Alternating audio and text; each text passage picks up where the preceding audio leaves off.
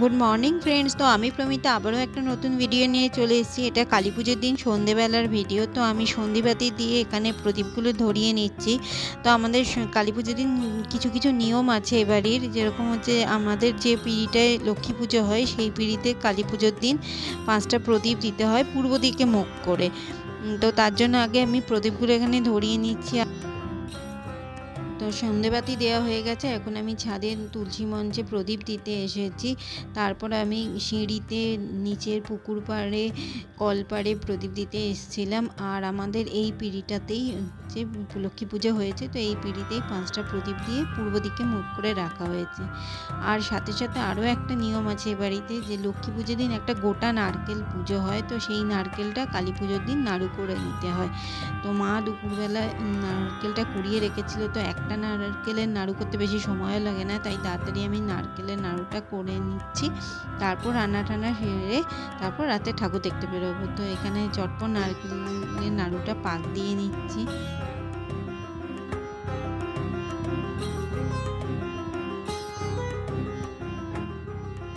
তো ঘরে সামান্য কিছু লাইট লাগিয়েছিলাম আর ওখানে প্রদীপ জ্বালিয়েছিলাম। তো ঘরটা অনেকটা এরকম দেখতে লাগছে।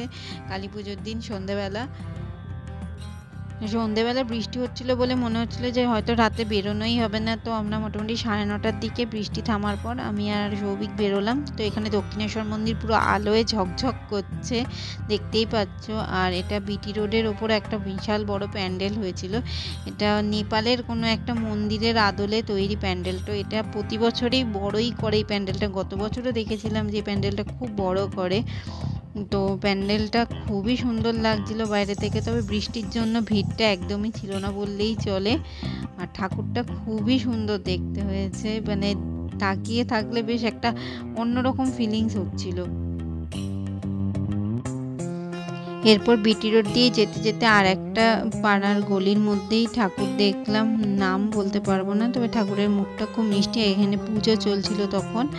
তারপর বিটি রোডের থেকে একটু এগিয়ে গিয়ে টবিন রোডের ওই জায়গাটায়। তো এখানে বরানগরের বড় মা বলে কোনো একটা প্যান্ডেল হয়েছিল। তো ঠাকুরটা বিশাল বড়। কেন মানে বিশালই বড়। হয়তো তিরিশ পঁয়ত্রিশ ফুট তো হবেই মনে হয়। আর এটাও এই বরানগরেই আর একটা প্যান্ডেল। তো এটারও আমি ক্লাবের নাম বলতে পারব না। তবে প্যান্ডেলটা দেখতে বেশ বাইরে থেকে ভালোই লাগছিল। তো সবাইকে বললাম, চলো একটু ভেতরে ঢুকে দেখে আসি। তো এখানেও ঠাকুরের পুজোই হচ্ছে তখন।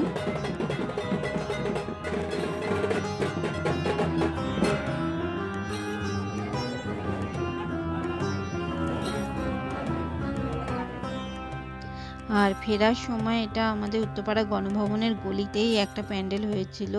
তো খুবই আলো আর ঠাকুরটাও এখানে বিশাল বড় হয়েছিল। তো এটাই দেখে আমরা মোটামুটি এগারোটা, সাড়ে এগারোটার মধ্যে বাড়িও চলে এসেছিলাম। তো এটা কালী পুজোর পরের দিন সন্ধেবেলা আমি মাসিদের সাথে, মাসি, বোন মেশো ওদের সাথে ঠাকুর দেখতে বেরিয়েছিলাম। তো এটা একদম আমার পাড়ার মোড় মাথারই ঠাকুর, নন্দনকানন যাত্রী ক্লাবের ঠাকুর। তো এই ঠাকুরটা প্রতি বছরই খুবই সুন্দর করে আর এবারে প্রতিমাটা একদম অন্য রকমের হয়েছে, খুবই সুন্দর দেখতেও লাগছিল তো যেতে আসতে রোজই প্রায় দেখছিলাম, তো এক সেদিনকার ঢুকে দেখেও নিলাম।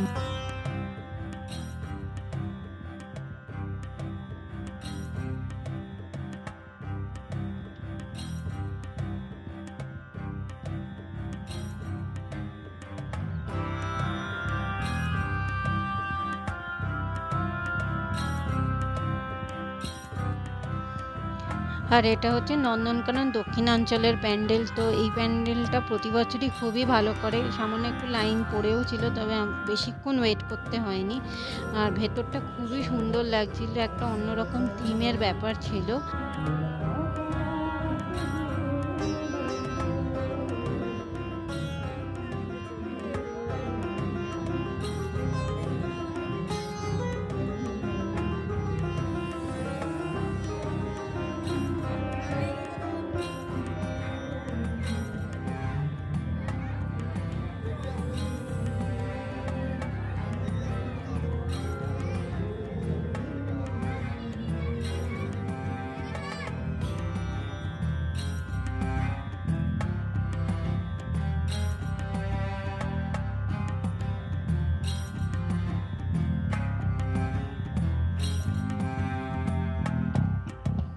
তো নন্দনকাননের ঠাকুর দেখে হাঁটতে হাঁটতে আবারও একটা ঠাকুর দেখতে চলে এসেছি। এটা হচ্ছে তরুণ সংঘ মাঠের এখানে।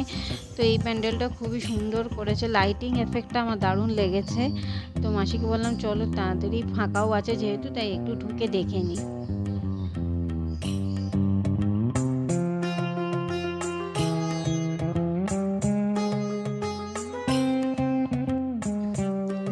এটা হচ্ছে হিমমটরের একটা অতি পরিচিত পুজো, তো এটা আমার বন্ধুর পাড়ারই পুজো।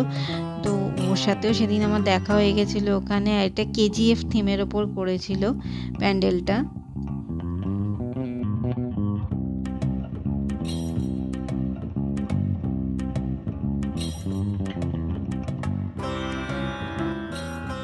তো এটা আমাদের হিন্দমটরের একটা অতি জনপ্রিয় পুজো, মেঘদূত ক্লাব মাঠের পুজো। প্যান্ডেলটা খুবই সুন্দর করেছিল, বেশ কালারফুল দেখতেও লাগছিল। তো মেঘদূত ক্লাবের ঠাকুরটা দেখে হাঁটতে হাঁটতে আমরা ফ্রেন্ডস ইউনিট ক্লাবের ঠাকুরটা দেখতে এলাম। বাইরে থেকে প্যান্ডেলটা বেশ তো দেখতে খুব সুন্দর লাগছিল।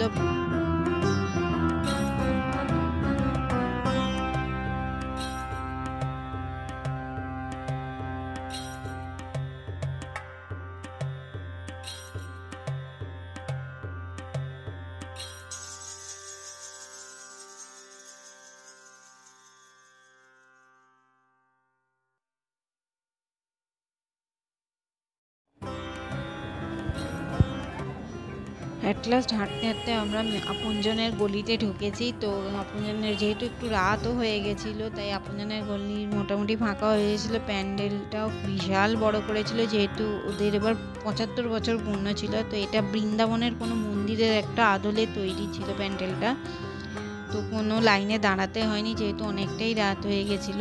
তো খুব সুষ্ঠু মতনভাবে আমরা ঠাকুর দেখতে পেরেছি।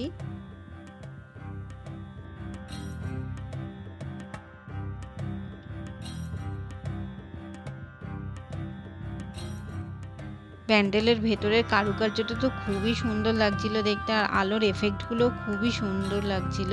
তো প্রতি বছরই এই আপনজনের প্যান্ডেলটা খুবই ভালো করে। তো এবছর যেহেতু ওদের পঁচাত্তর বছর ছিল, তাই এক্সক্লুসিভ যাকে বলে, তো ঠাকুরটাও ছিল একদম অন্য রকম প্যাটার্নের আশা করছি তোমাদের এই ভিডিওটা ভালো লাগবে। ভিডিওটা ভালো লাগলে অতি অবশ্যই লাইক শেয়ার অ্যান্ড কমেন্ট করো।